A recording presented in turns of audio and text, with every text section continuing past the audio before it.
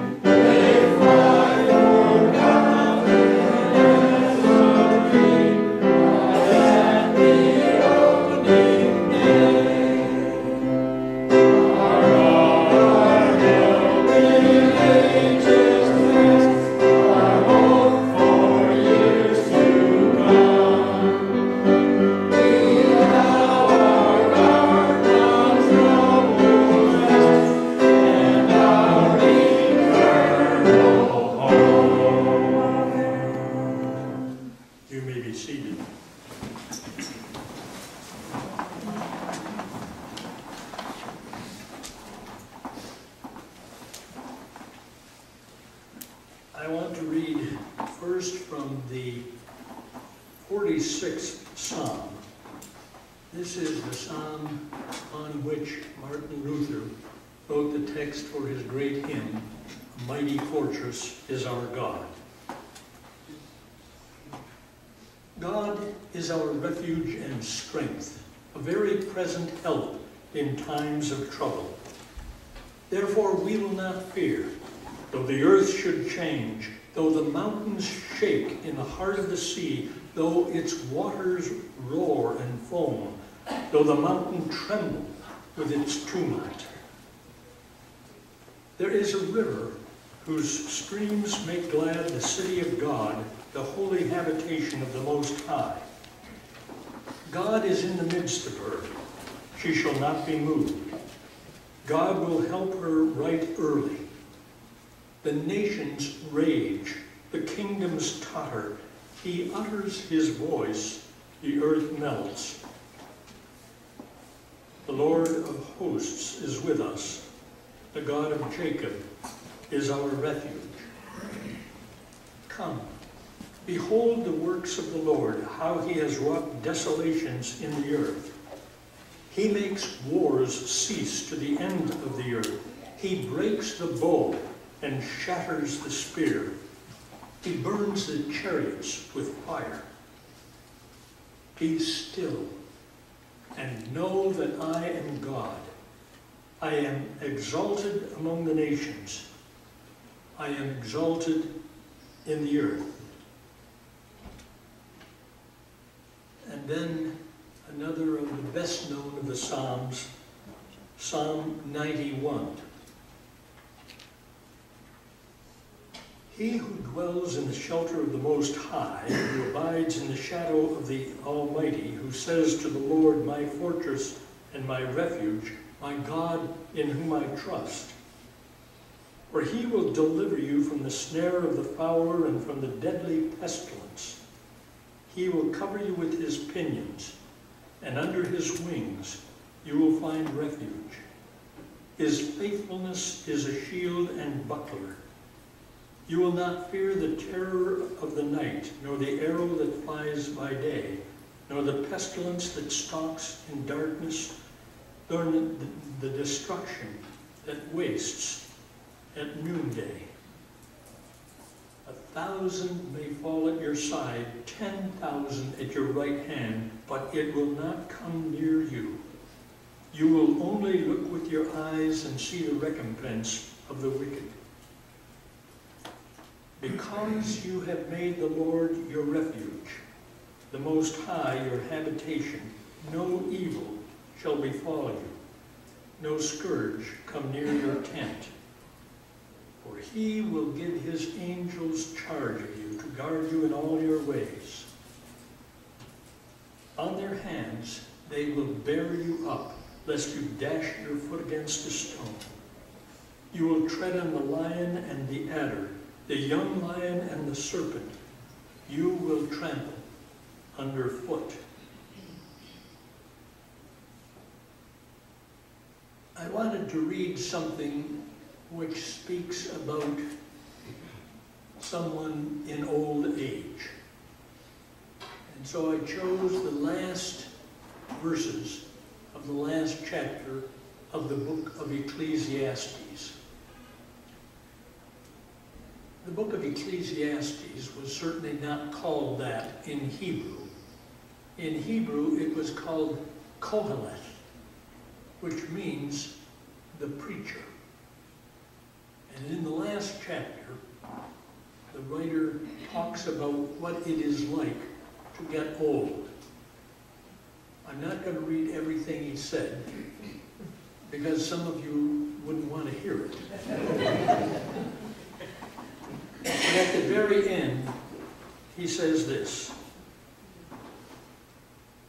Besides being wise, the preacher also taught the people knowledge weighing and studying and arranging Proverbs with great care. The preacher sought to find pleasing words, and uprightly he wrote the words of truth. The sayings of the wise are like goads, and like nails firmly fixed are the collected sayings which are given by one shepherd. My son, beware of anything beyond these. Of making many books there is no end, and much study is a weariness of the flesh. The end of the matter, all has been heard. Fear God and keep his commandments, for this is the whole duty of man. For God will bring every deed into judgment with every secret thing, whether good or evil. Amen.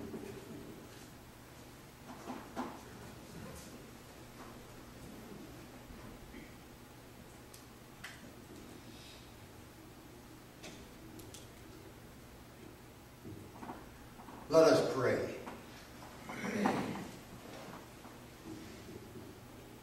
O gracious and loving God, we come before you today with saddened hearts as we mourn the loss of our dear friend John McCreight.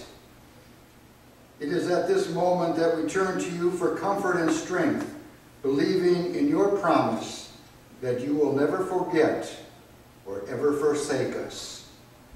We ask that you will be with his children, David, Tim, Bob, Tina, and their children and their spouses.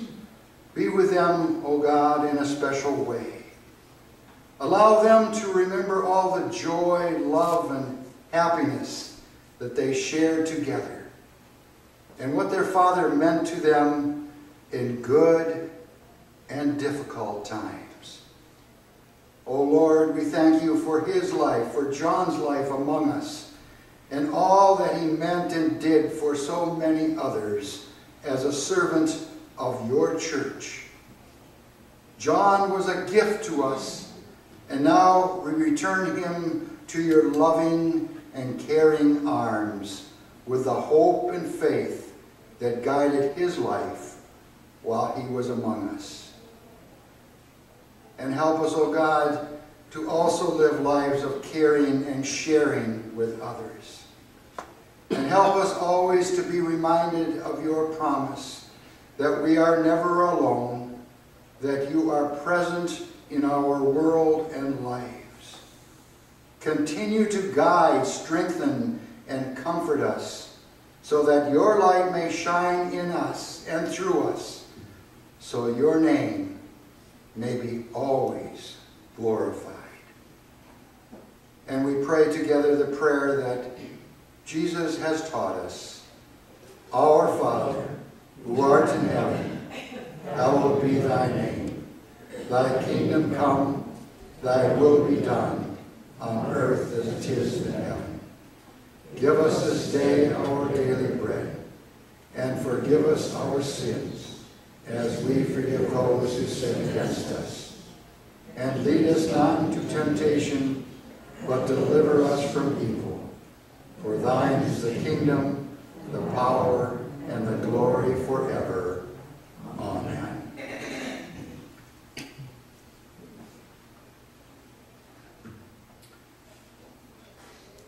Let us then listen to the words of Scripture as they are written in the Gospel of John, chapters 10 and 21. And in these words, Jesus speaks of himself as the good shepherd and what a shepherd means and does for his sheep.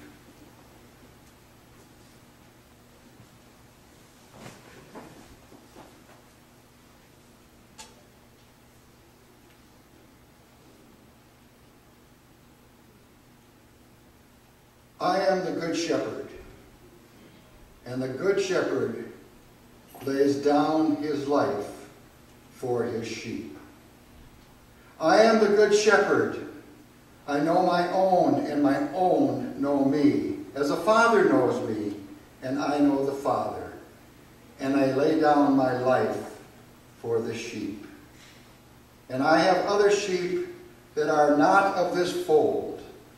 I must bring them also, and they will heed my voice. So there shall be one flock and one shepherd.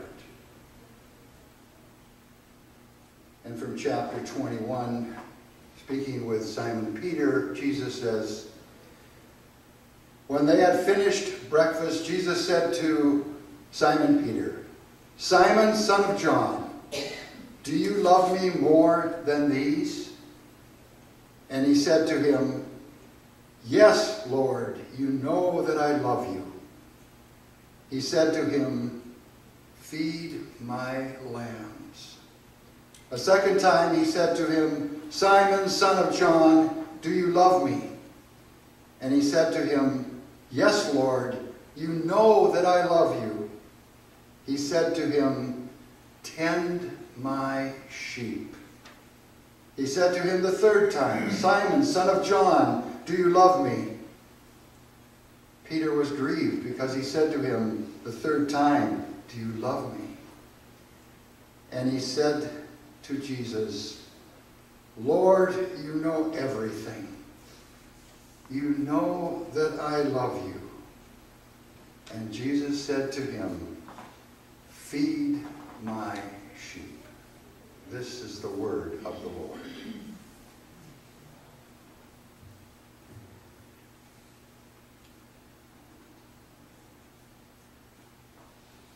As clergy, there are several titles by which we can be called, depending mainly on the Christian denomination. Among them, of course, is the Reverend, Minister, Preacher, Curate, Priest, Father, etc. Yet for me, there is one that stands above all others. And that is the title, Pastor. Pastor. Pastor who is a shepherd, who tends and feeds his sheep. The Reverend Dr. John McCreight was, I believe, first and foremost, a pastor. For he truly cared for the well-being of his sheep. Yes, the Lord is our shepherd. Yet through the centuries of the church, the Lord has called many other shepherds, pastors, to care for his sheep.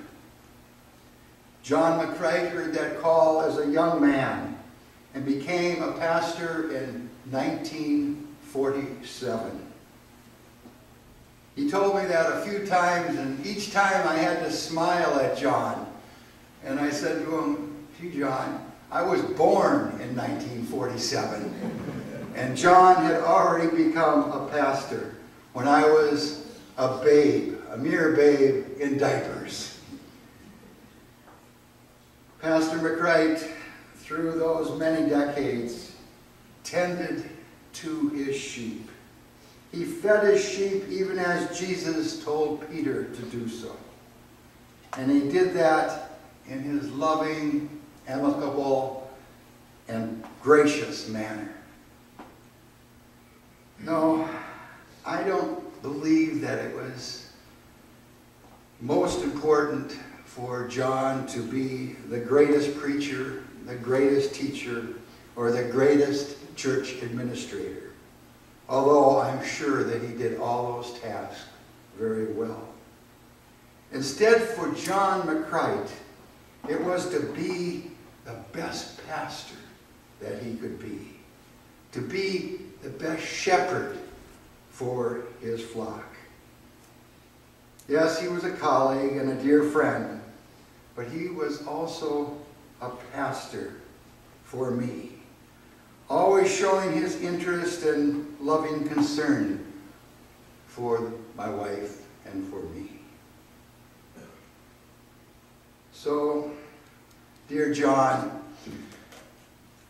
I bid thee farewell, my colleague, my friend, my brother in Christ, Pastor McCreight.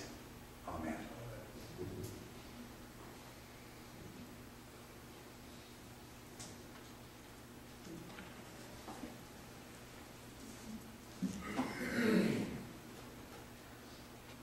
I want to read one more psalm, a psalm of David, and later on I will explain why I chose this particular psalm. Psalm 13. How long, O Lord, wilt thou forget me forever? How long wilt thou hide thy face from me? How long must I bear pain in my soul and have sorrow in my heart all the day? How long shall my enemy be exalted over me? Consider and answer me, O Lord, my God. Lighten my eyes, lest I sleep the sleep of death. Lest my enemies say, I have prevailed over him. Lest my foes rejoice, because I am shaken. For I have trusted in thy steadfast love. My heart shall rejoice in thy salvation. I will sing to the Lord, because he has dealt bountifully with me. Amen. And may the Lord bless to us these readings from his holy word, and to his name be the glory and the praise. Let me make a couple of announcements. First, the family is not at this service. They knew they, they would not be able to get the whole McLean clan together until sometime later. And theoretically, if not actually, that date will be April 6th, late in the afternoon, on April 6th, which I believe is a Wednesday. The as many of the family will be there as possible. The service will be held at the Low Country Presbyterian Church, where John's son Bob was the interim pastor for a couple of years. We felt it would be good to have a service here for residents of the Cypress, for members of the Chapel Without Walls, and for any from uh, First Presbyterian or Low Country who might wish to attend. We're pleased that you are here for this service. Following the service, refreshments will be served in the back of the room. On the refreshments table is a collage of photographs put together by Phil Porter. Phil has known uh, John for as long as John has been here. These photographs are a kind of pictorial uh, summary of the life of John McCreight from adulthood on. I would venture to say none of us here knew John in some of these pictures. so you'd be interested to see what he looked like in the old days. And we hope that you will stay for the service and the uh, fellowship time if you can.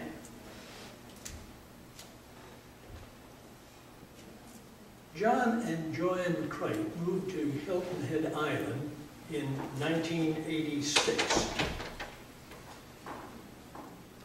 He had then been serving as a Presbyterian minister for 40 years and they both looked forward to retirement.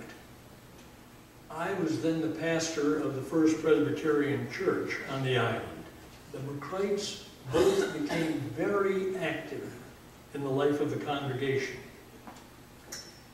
At least three times during my pastorate at First Presbyterian, John became a part-time minister on the church staff for a year or more at a stretch. If John McCreight were still here, he would be able to tell you exactly how many times and exactly how long it was because he kept records of everything. He was the most meticulous record keeper I have ever known. If there was something that needed to be done in the church and no one else could or would do it, John would always step forward when asked. What this ultimately meant is that John served the Church of Jesus Christ for an additional 25 years after he retired. 40 years plus 25 years means 65 years of active ministry. That is an amazing record for an amazing man as a Presbyterian pastor. Astonishing longevity. Astonishing man. Joanne became an elder on the first Presbyterian church session. It was the first time she had ever served in that capacity. By custom, the spouses of Presbyterian clergy do not serve in official capacities in the churches where their spouse is a pastor. But because John was never officially called as an associate pastor in any of these times where he served at First Pres or anywhere else in the Low Country, she was able to serve on the session of First Presbyterian. Everything in her background warranted, warranted her to become an elder, and an excellent one she was. She was one of the saints I wrote about in my book, The Communion of Saints, Pastors, Popery, Parishioners. John and Joanne McCreight were among the top three or four minister and spouse duos I have known in my lifetime. Both were exceedingly able servants of the church, and each complimented and complimented the other. She was an example of a highly supportive minister's wife, and he was an example of a minister who knew wisely how to utilize her many talents by letting her do her thing while he did his thing. They both had huge genetic and intuitive knowledge of how to get ecclesiastical things done properly. That's not surprising. Both were PKs, preachers' kids. In fact, the preachers sprang up through the generations of the McCreight and Gibson families like mushrooms.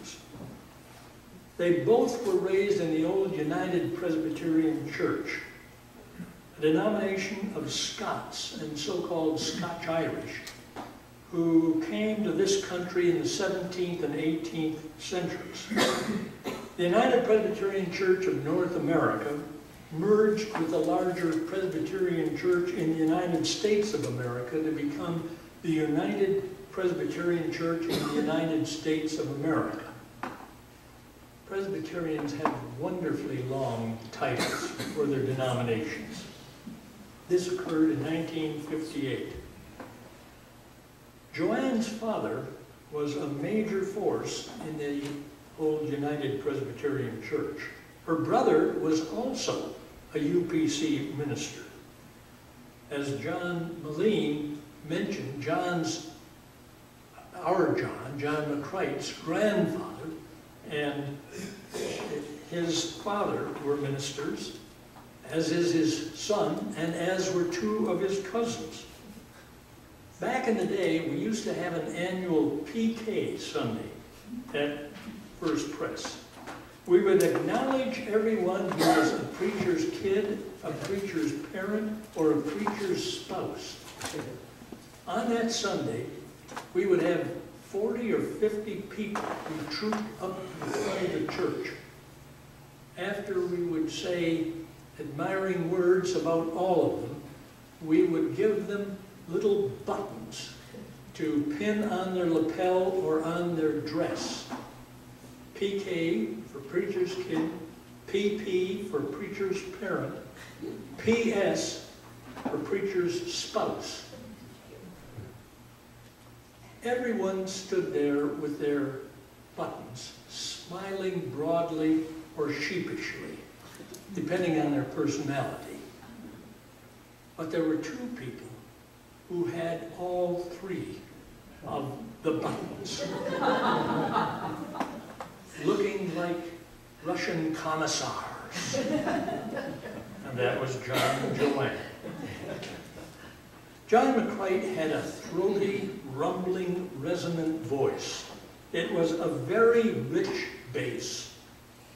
He was an enthusiastic, but fortunately fairly soft singer because he could hardly carry a tune in a bucket. But I often said that his speaking voice was like the voice of God. And if God's voice doesn't sound like that, it should. he was a uniquely gifted teacher, preacher, pastor, and administrator. He kept copious notes on everything that he ever did. As I said, he was a meticulous record keeper. From the day he was ordained, he maintained a list of every child or adult he ever baptized, every couple he ever married, and every person at whose funeral or memorial service he officiated. According to what he told David Lauderdale for David's feature article about John in the Island Packet, when he preached his last of 2,743 sermons, and who could ever doubt the authenticity of that number?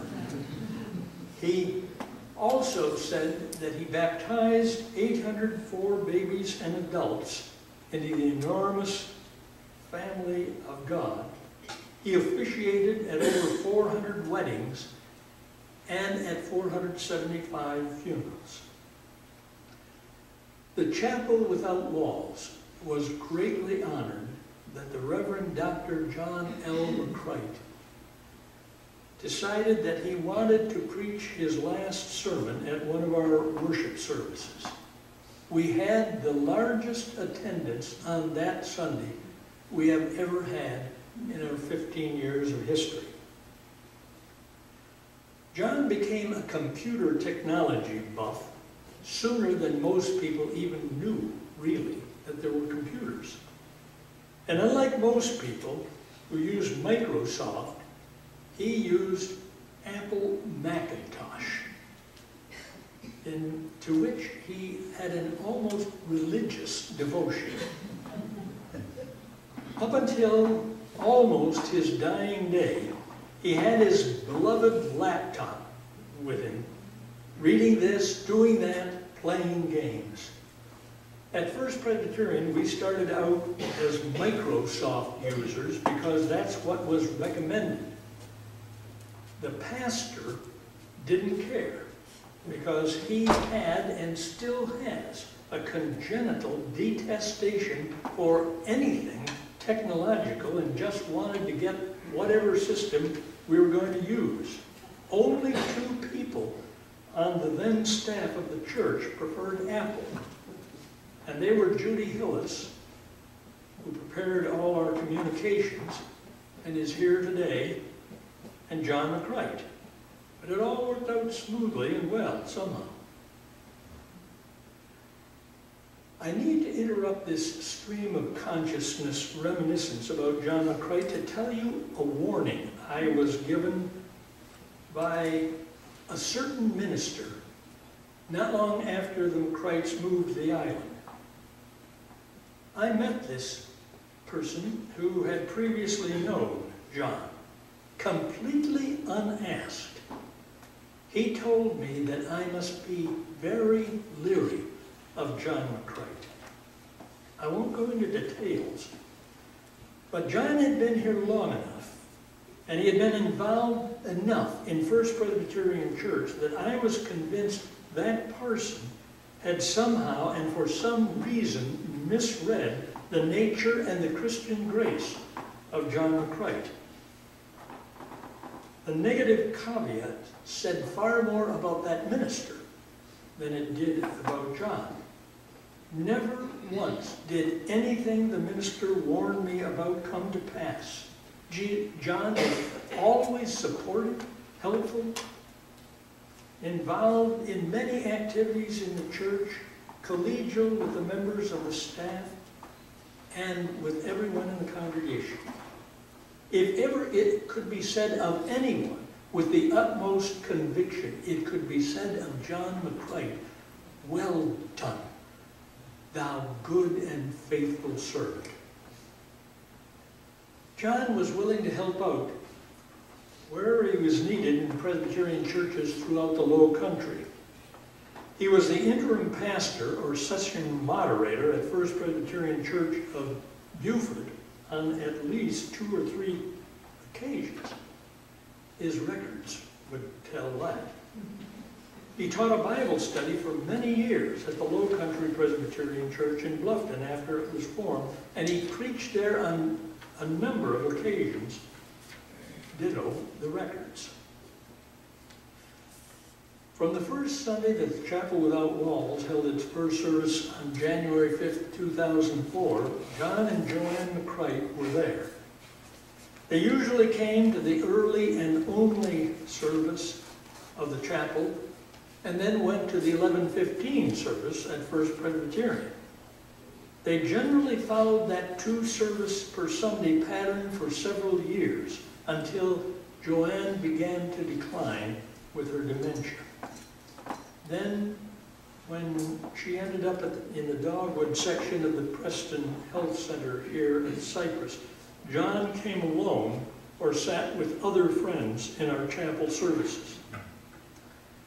For the first 10 years or so, he was the primary supply preacher at the chapel whenever I was away, and I would always hear praises about his rumbling, divine voiced sermons afterward. He attended the forums, which were held after the coffee time each Sunday, judiciously adding his pastoral comments to whatever was being discussed. During the dozen years that we held our services at Congregation Beth Yam, he first sat with Joanne toward the back, right over there. Then, when she no longer was able to attend, he sat in the front right, right there. He did that because he could see and hear better, particularly hear, because his elderly ears were not working as well as they once did.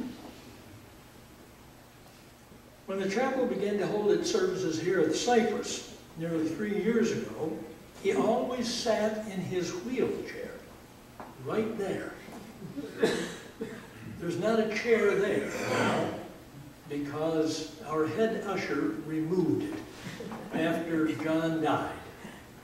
And it won't be there for uh, a proper length of time in his memory.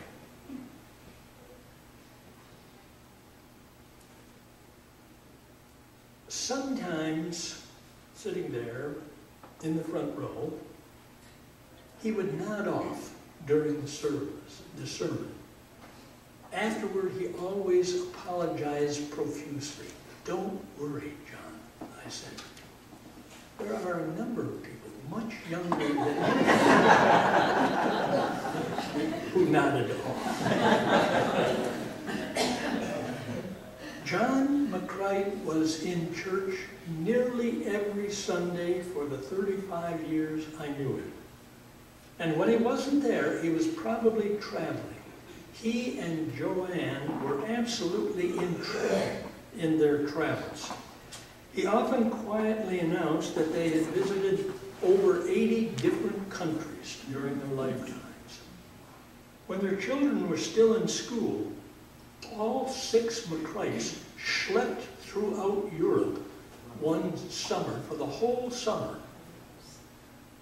What a wonderful experience that was for their family, especially for the four children, all of whom also became bitten by the travel bug.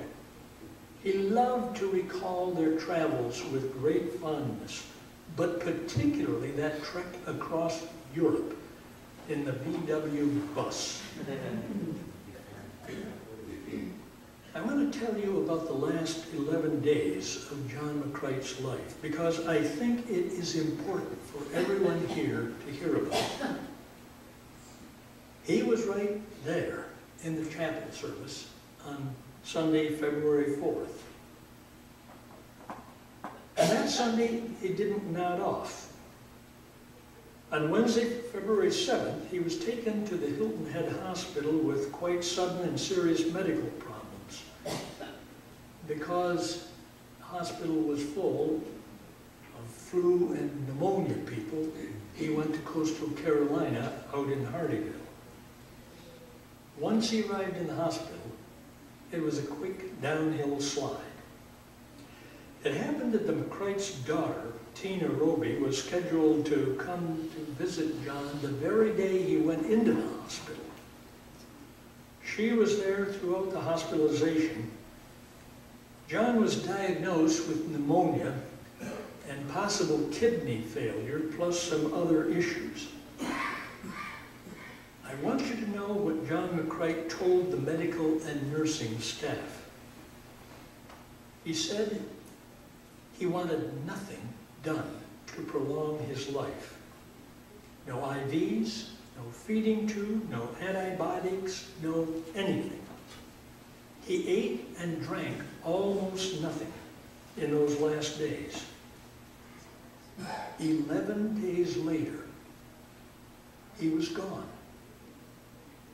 As with many other lessons John gave us, he also gave us a memorable lesson on how to die. Two days after he went into the hospital, I happened to come to his room when Tina was not there. Not realizing that I was there, he was saying something in his basso profundo voice, but I could only understand part of it. How long? Mumble, mumble. How long? Mumble, mumble. I went out into the hall to call Tina on her cell phone. She was in the hospital cafeteria with Gail McGavick, a very good friend of John and the family, and Tina's host whenever she came to visit John. Tina said they would be back in the room very shortly. I went back into the room and I found, finally figured out what he was saying. How long, O Lord? How long, O Lord? How long, O Lord? He wondered how long this was going to go on. He was quoting Psalm 13. A couple of days later, I thought it might go on for quite some time. He had rallied, and he was conscious and lucid for a couple more days. But he maintained his resolve to have no medical measures taken on his behalf. I tell you this because it took deep conviction about his mortality, coupled with deep conviction about his immortality, to do that. At 94, he did not resist death. Quite the opposite. He welcomed it. What he resisted was keeping him alive in an unlivable life. I will remember many things about John McCreight, but one of the things I shall always remember about him with the greatest admiration is that he chose what he trusted to be a glorious immortality over what almost certainly would have been a ghastly mortality. There can be no certainty that Jesus Christ was raised from the dead, or that any of the rest of us shall be resurrected. If we become convinced of it, that conviction is surely a revelation from God. Divine revelations, pardon me, are not proofs or guarantees of anything. Instead, they are inner assurances that God grants us when we hope for sights which mortal eyes are incapable of seeing. John McCreight believed that he would live forever after he died. I believe he is now in that eternal life, and I hope you do as well. What a friend we have in Jesus. And what a friend we had in John McCreight. As Horatio said at the very end of the greatest play ever written, as Hamlet lay dead on the floor. Good night, sweet prince. And flights of angels sing thee to thy rest.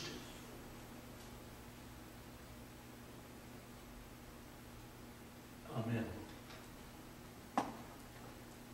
John's son, son-in-law, I should say, Greg Robie, wrote the lyrics to correspond to a tune composed by Leonard Cohen called Hallelujah. Tina Robie emailed me a recording of Greg's song, thinking that perhaps it could be used in this service. Tina played it for John as he lay dying in the hospital. We decided that for technical reasons, the music would not be heard as well trying to use a recording as it would be if our director of music, Scott Camp, sang the words and the tune. Therefore, he will play and sing both the song and the lyrics. You have before you a copy of the printed lyrics.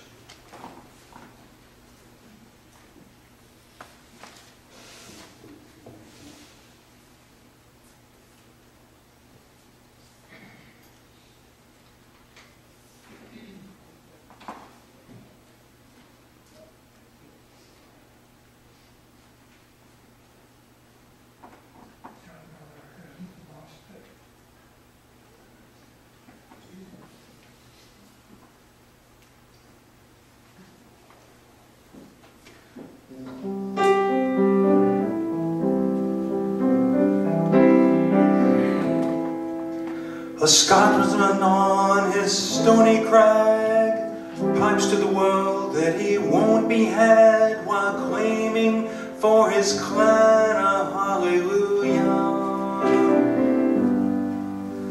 The vales below do echo with the feelings that his song doth and celebration.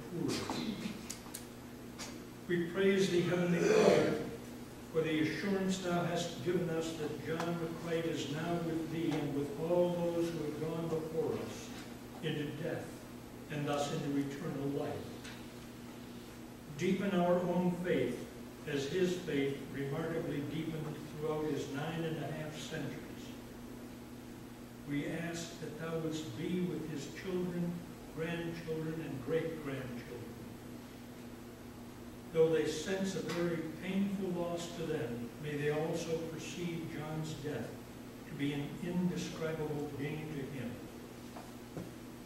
Help those of us who also may become very old, to become old as he did, with an active faith, an inquisitive mind, and an indomitable spirit.